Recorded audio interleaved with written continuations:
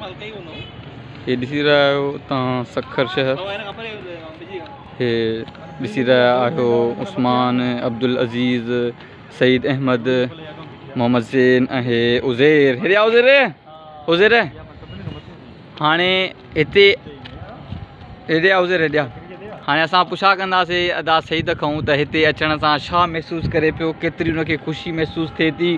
छा एक्सपेक्ट कयईं त हिते छा हूंदो ऐं हिते छा हुनखे ॾिसण वटां मिलियो आहे ऐं वधीक पंहिंजा जेको आहे एक्सपीरियंस जेको आहे आथसि उहो बयानु कंदो हेॾी उमिरि थी वई असांजी कॾहिं बि जेको आहे अचणु थियो ई कोन पर यार ॾिसंदा हुआसीं पंहिंजे घर जी छत सां बि करे ॾिसंदा हुआसीं ॿुधंदा हुआसीं आदमशाही टकरी आदमशाही टकरी ॿुधंदा हुआसीं इहा ख़बर हुई त को पीर आहे अॼु हिते अची असांखे ख़बर पई त पीउ न आहे को वक़्त जो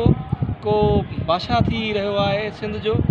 त हिते अची करे वरी जीअं लुक ॾिठोसीं सखर जो पहिरियों भेरो हूअं त ॾिसंदा हुआसीं हुन तां मासम छा आहे मीर तां ॾिसंदा हुआसीं पर हितां जो लुक ई जेको आहे माशाला अजीब आहे ऐं अजीबु चइजे ऐं माशाला ख़ूबसूरत चइजे ऐं पंहिंजो सखर ते फ़ख्रु थो थिए त माशाला सखर बि केॾो सुहिणो शहरु आहे गुंजान आबादियूं हिकिड़े पासे ॾे ॿिए पासे ॾिठो वञे त जीअं थो लॻे ॼण जंगलात आहिनि वण आहिनि उहो वरी बचल छा आहे पर हिन पासे ॾिसे तुलियूं पुलियूं अचनि पयूं ऐं छड़ी गिरर जी गुंजान आबादी आहे सखर जी ॾाढो मज़ो आयो ऐं ॾाढी प्राउड फील पियो त